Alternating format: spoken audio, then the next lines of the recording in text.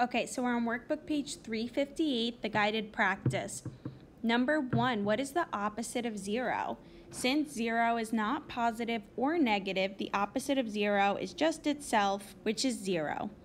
Number two, what is the opposite of the opposite of six? So the opposite of six would be negative six. And then the opposite of negative six would be positive six. So that's the opposite of the opposite. So the opposite of the opposite is technically just itself. So the opposite of the opposite is six. Number three, evaluate each expression. So remember the lines represent absolute value, which is what's a number's distance from zero on a number line. So negative five is five units away from zero on a number line. Number four, absolute value of 20 minus absolute value of negative three. 20 is 20 units away from zero minus negative three is three units away from zero. So this equals 20 minus 3 is 17.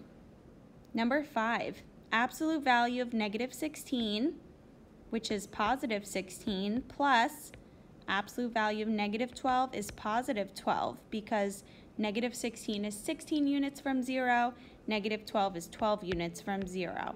So when you add this, you get 28. Number 6, a game show contestant lost 15 points. He answered another question incorrectly and lost another 15 points. How many total points has he lost? So he lost 15. That would be represented as negative 15. He lost another 15. So that's another negative 15. Total points has he lost? That means we want to use addition and absolute value to find how many points has he lost in total.